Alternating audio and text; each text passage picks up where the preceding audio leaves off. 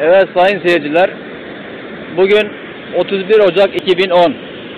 Şu anda Antalya ili Aksu ilçesi Yeşil Karaman köyü Ömer Beyadi şelalelerindeyiz.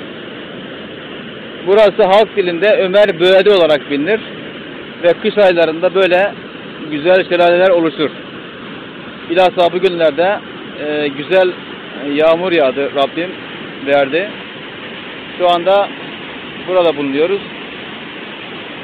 Ee, bu alan yaz aylarında da yine su olur bu civarda. Ee, köylüler hayvanlarını sularlar.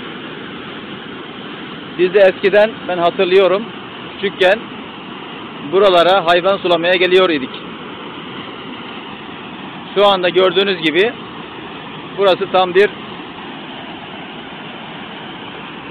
turizm sahası olmuş durumda.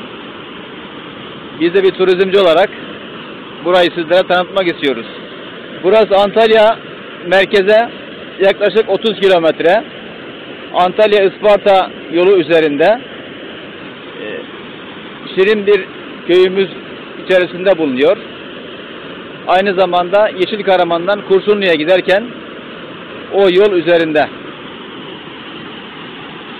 Gördüğünüz gibi güzel manzaralar oluşuyor.